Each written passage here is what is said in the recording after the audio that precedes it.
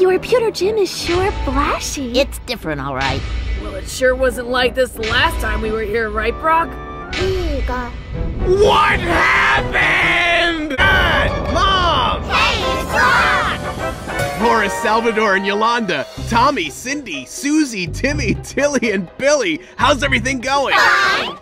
They all look just like Brock. What did you expect?